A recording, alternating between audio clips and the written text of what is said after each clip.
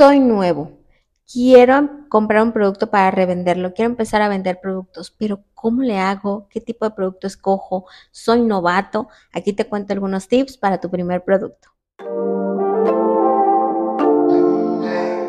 Hola, ¿cómo están? Yo soy Luis González. Bienvenidos a mi canal. Recuerden que aquí hablamos de negocios online, de contenidos digitales, de cómo vender en redes sociales, de marketing digital, todo lo que tenga que ver con trabajar desde casa.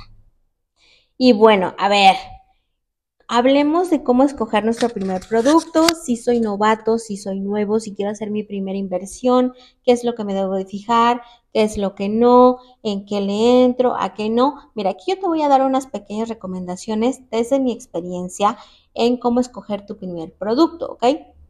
Yo llevo siete años, no, desde el 2017, sí, son siete años, yo llevo siete años vendiendo productos en redes sociales, en Mercado Libre y en Trendier. Entonces, bueno, te puedo dar como algunos tips de cómo escoger tu primer producto. Si eres nuevo, porque si ya eres avanzado, bueno, tú ya verás qué tipo de productos están vendiendo, cómo escoger, el tema de costos, etc. ¿Ok? Bueno, mi primer tip o recomendación, si eres nuevo, primero, vende ese producto o esos productos que te gusten a ti y no nada más porque escuches de que se venden bien, ¿ok? Y esto es muy importante y lo hacemos mucho. ¿Por qué? Por ejemplo, yo vendo bolsos y carteras eh, de marca para mujeres. ¿ok? Y yo te puedo decir, se venden muy bien, se gana bien.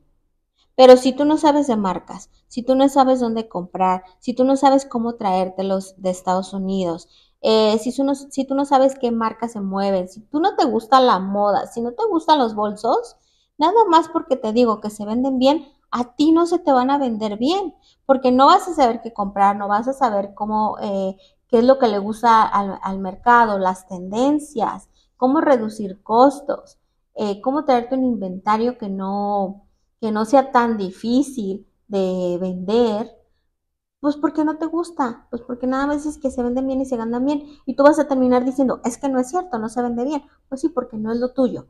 ¿Ok? Por eso yo te sugiero que tu primer producto es algo que tú conozcas, que a ti te guste, que a ti te salga bien, que te mm, apasione tanto, que quieras buscar más sobre él, que conozcas un poco, que vayas aprendiendo sobre el camino, si no vas a saber todo al principio, pero si te, si, te gusta, vas a ir poco a poco eh, conociendo en mi canal tengo un video de cómo pasé de ser una compradora compulsiva a hacerlo mi negocio. Te dejo el link aquí o si no, búscalo para que te des una idea de cómo de algo que realmente me gustaba lo volví negocio. Pero no es porque se venda bien, ¿ok? Es muy importante ahí, sobre todo si eres novato. No eh, te vayas por esos productos nada más porque dicen que se venda bien y realmente no conozcas de él, ¿ok? Lo segundo, si te gusta el handmade, si eres buena con el tema de handmade, pueden ser productos que tú puedas vender. Ahorita está muy el tema muy en vogue de eh, los productos craft, de eh, los productos de crochet. Ese tema sí puede ser eh, que tú tomes como tus primeros productos o como para vender si a ti te gusta o si le puedas hacer alguna modificación y le puedas revender. También se vale. Si tú allá afuera ves un producto donde le puedas revender, donde lo puedas eh, modificar para hacer su, reventa, hazlo. En productos handmade o craft o en ese tema, se puede hacer y puedes utilizarlo como tu primer producto. La siguiente recomendación que yo considero que es muy importante es que compres productos para revender que sean fáciles de usar. ¿Qué quiere decir eso? Que prácticamente lo saquen, el comprador lo saque de la bolsa y lo empiece a usar. O sea, simplemente miren, este que es una cosita para poner tu celular, es un producto fácil de usar. Nada más lo sacan, no requiere a la vez dos o tres piezas de armado y ya. Eh, algo que la gente no necesite leer un manual, eh, hacer mil piezas, hacer un armado. No, no, no. Con solo productos que la saquen de su cajita, de la bolsita y lo empiecen a usar, es más que suficiente. Podría ser un buen tip para tu primer producto, tenlo en consideración, ¿ok? Ahora, no te sugiero que si eres novato y es tu primer producto, compres productos para eh, revender de tantas piezas, de muchas, muchas piezas y de tecnología o que requiera, eh, no sé, pilas o, eh, no sé, de tecnología. ¿Por qué? Porque, seamos sinceros, en las empresas tienes un target de como de que todos tus productos salgan bien, pero tienes un target de que de 1 a 2% de toda la producción pueden salir defectuosos.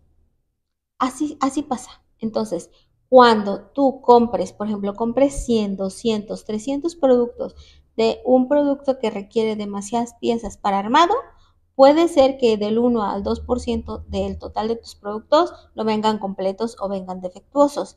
Entonces, si tú todavía no sabes cómo manejar con los clientes el tema de defectos, de devoluciones, pues te vas a desanimar, ¿ok? Y eso pasa, va a pasar.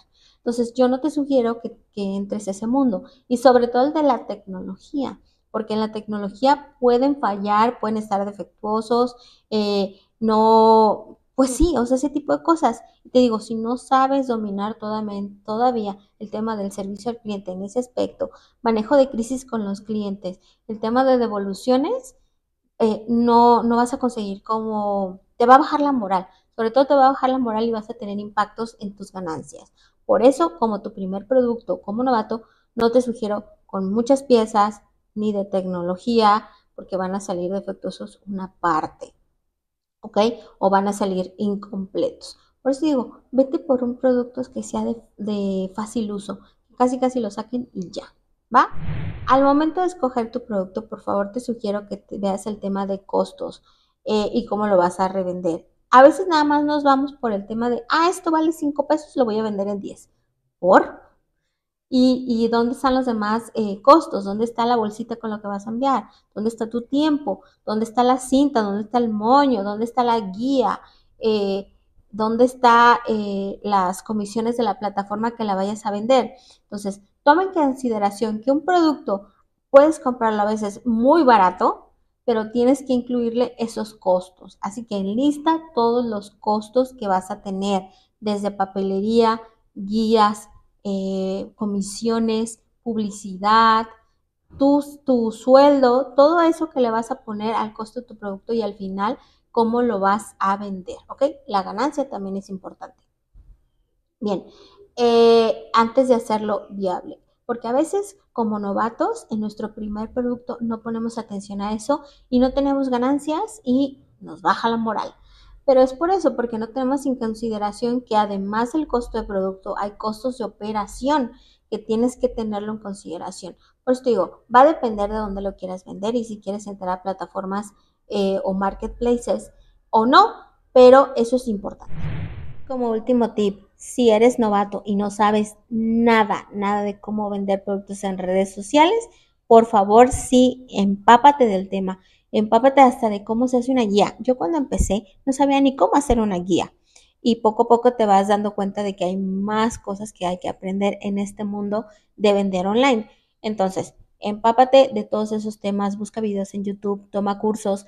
Yo en la cajita de información te voy a dejar mi curso de cómo vender productos online, que desde mi experiencia te doy todas las herramientas para poder empezar a vender productos online, ya sea que tengas experiencia o no, o seas novato y empieces desde cero. Ahí te pongo todo en mi curso, en la cajita de información va a estar, ¿va? Y cuéntame cómo fue tu eh, primera compra de tu producto, cómo fue el tema de vender tu primer producto o qué producto estás eh, queriendo vender o si estás interesado. Cuéntame todo eso en la cajita, en los comentarios y poco a poco te voy respondiendo. Sígueme en Emprende Conectadas, estoy en TikTok, en Instagram, en YouTube, en cualquier plataforma si necesitas que te responda alguna duda, si tienes comentarios y te digo, tengo el curso de cómo vender productos en la cajita de información por si lo necesitas. Si no, hay demasiada información ahí afuera. Tampoco te estreses de que tengo que invertir en esto y esto no. No, hay muchísima información, nada más que pues le vas a tener que dedicar un poquito más tiempo. ¿Vale? Muchas gracias y nos vemos en el próximo capítulo. Bye bye.